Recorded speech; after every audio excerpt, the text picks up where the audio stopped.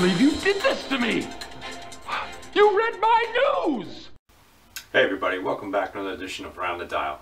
So, I wanted to get this out as fast as possible, uh, some breaking news if you will. Uh, it didn't take too long. There's already,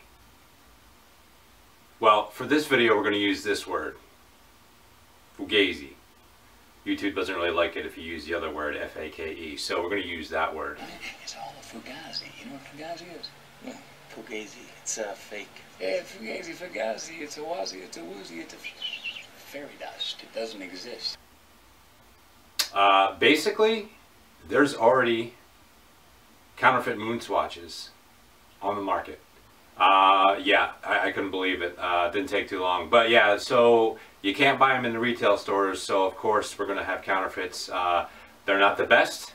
Just wanted to put some images up here, uh, courtesy uh, Lux Report. If you don't know their YouTube channel, go check them out. Uh, very informative.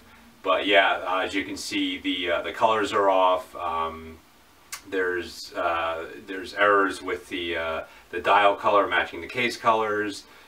there's an error with the band, the swatch versus the Omega logo is reversed.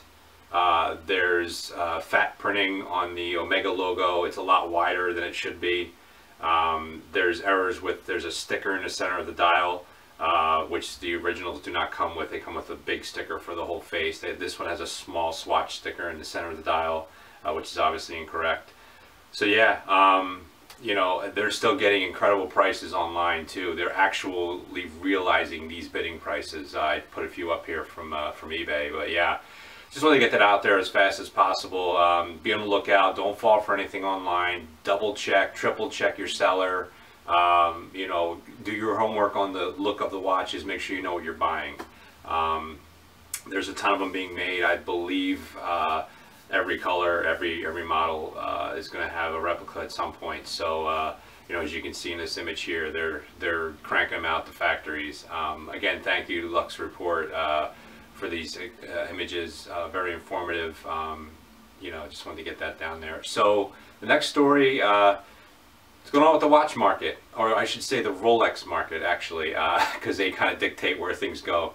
Um, so yeah, there's a couple of factors at play here. I think people finally are realizing that the prices that we're seeing are absolutely insane. Um, is anybody really paying those prices or are they just asking prices? Uh, you know, asking and realizing a price are two different things. Um, you know, uh, you can't even get a Rolex really from retail. The select few that are on the list that actually get the call, you know, are they keeping them? Are they selling them? Um, you know, that's up to the individual, I guess. But uh, there's a lot of factors that go into this pricing, uh, a lot of factors that go into the price drop. The market demands the price. So if people are willing to pay it, they're going to get it. Uh, you know, the trends, you know, the top trends, of course, Rolex, Omega, down the line, you know, the most popular brands um, will command the highest prices on the secondary market, especially with scarcity. Um, yeah, so uh, factors you got to look at really quick here for these uh, issues. I think prices are being adjusted back to reality. You see this a lot of time in the stock market. A stock uh, comes out and it goes crazy, or a crypto comes out, it goes crazy, and then people calm down and it gets back to earth and stays there for a while. Watches, of course, were being bought as investments. Uh, Rolex was basically a commodity. Um, but if you look at the Chinese market now, right now, Chinese is in lockdown. Chinese market's in lockdown again, pretty much. Uh, you take all that out of the equation, and you know the Chinese market's huge in the luxury uh, goods uh, commodities, uh, especially the watch uh, division. So you take China out of the, the game right now, and you're going to have a big chunk of uh, money not going into it. So that's that's a factor as well. You got to take a look at that combined with I think that the prices are finally being, you know, looked at like okay, we're not paying this. This is insanity. Um, it's it's a wristwatch, uh, regardless of who makes it.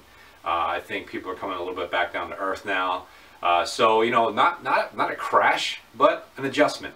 So don't panic sell. Uh, you know, if you're in it for the investments, yeah, you're going to have issues. If you bought it to flip, yeah, you know, you might want to get out of it soon. But I think the prices will steady uh, steadily just kind of taper off and hit a, a level where they can be sustainable.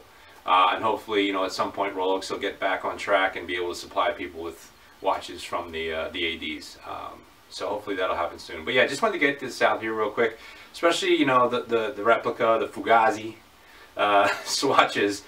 You know, just make sure you're you know what you're looking at when you buy these things. Um, people are paying eight, nine hundred, a thousand dollars online for a plastic MoonSwatch. You will be able to get these. They'll be back. They'll be in stores.